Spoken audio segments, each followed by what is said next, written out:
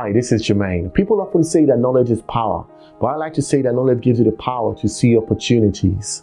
Now, for you to seize those opportunities, you need to take action upon what you know. Because knowledge is maximized when it is utilized. Knowledge is potential power that needs to be put to use. So, how do you gain knowledge? Through the assimilation of information. We live in an information age, so information is everywhere. You could read, listen, and observe. But once you've done so, you need to internalize it. You need to own it so that you can use it in the external world. Because what you know can determine how far you go. And knowing when or when not to act to determine if the wheels of fortune turn in your favor. So you need to gain mastery upon a subject area.